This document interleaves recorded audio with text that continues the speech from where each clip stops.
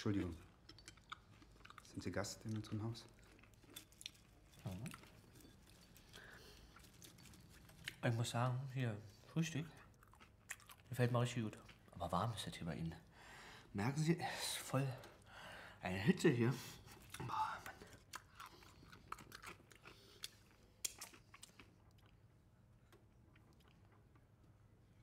Mann, ich blute.